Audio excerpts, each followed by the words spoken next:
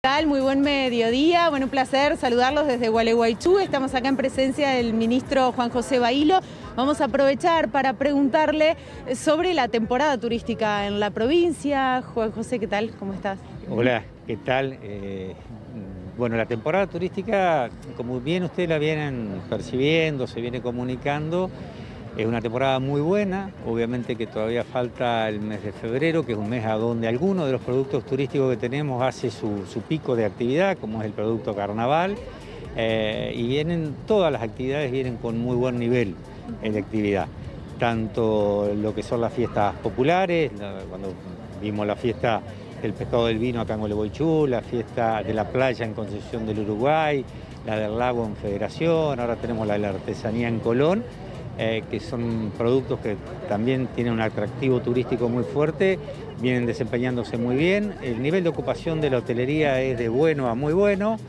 Eh, la actividad de las termas, que inclusive suele bajar en esta temporada, en, estos, en esta semana, se mantiene con un muy buen nivel.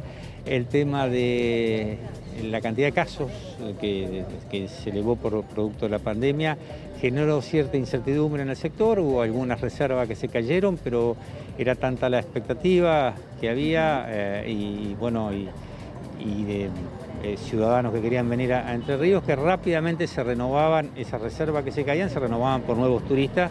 Así que en principio la temporada es de buena a, muy buena. La, seguimos de cerca, el producto previaje también eh, es un acierto muy importante del gobierno nacional. Eh, Entre Ríos es eh, una de las ciudades con más ofertas del previaje. Somos la cuarta provincia en cuanto a, prestadores que se inscribieron para, estar dentro del programa. Eh, quizás el, programa está pensado para estadías más largas de la que tiene la provincia, más allá de que la provincia aumentó su promedio de estadía casi en un día y medio, pasamos de 2,5 a casi 4 días de permanencia. Eh, y eso es muy bueno, pero bueno, todo esto hace que la temporada sea eh, de buena a muy buena. La seguiremos de cerca y también tenemos que trabajar y pensar en distintas acciones para tratar de sostener la actividad luego del verano, que bueno, se generan condiciones más favorables. ¿no? Eh, ministro Baile, hay destinos que ya están consolidados, hay productos dentro de esos destinos que ya están súper archi consolidados y hay otros que no.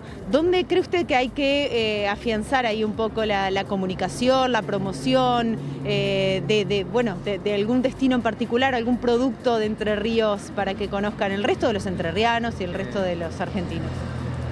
Yo creo que todo lo que sea turismo vinculado a la naturaleza y ecoturismo entre Ríos tiene unas características y la posibilidad de ofrecer eh, un, producto muy, muy interesante y de hecho lo ofrece. Eh, pero quizás no tiene la, visibilidad que tienen otros productos como vos eh, bien describiste. Creo que ahí hay mucho para crecer, ahí tenemos, es una oferta que nos puede caracterizar, que nos puede distinguir de, otras, de otros productos. sobre todo la gente ahora no está buscando tanto productos masivos, que como que después de de, nuevo, no, de salida de la pandemia, porque me estaría equivocando el concepto, pero cuando la pandemia nos fue permitiendo distintas cuestiones, hubo como un volver rápidamente a productos masivos, que la gente quería participar masivamente y ahora se está viendo que está eligiendo productos eh, para vacacionar eh, o para recrearse que no sean tan masivos. Bueno, ahí, en esto turístico, en oferta de paseos, eh, eh, vinculados con la naturaleza, con los verdes, con los ríos, con nuestros montes, con nuestras características que tiene Entre Ríos, hay mucho para crecer. Lo otro son los circuitos culturales e históricos de nuestra provincia. Todo, todo lo que ofrecen las corrientes inmigratorias, la historia de lo que es la corriente inmigratoria de los alemanes del Volga, que tenemos muchas aldeas en la provincia que eh, que muestran esto y quizá no está tan visible, también lo que es la, eh, corriente eh, judía inmigratoria en todo lo que es el centro de la provincia, hay mucho para mostrar y bueno, desde el Palacio San José hasta todos los museos que tenemos. ¿no? gracias, muy gracias, por tu tiempo.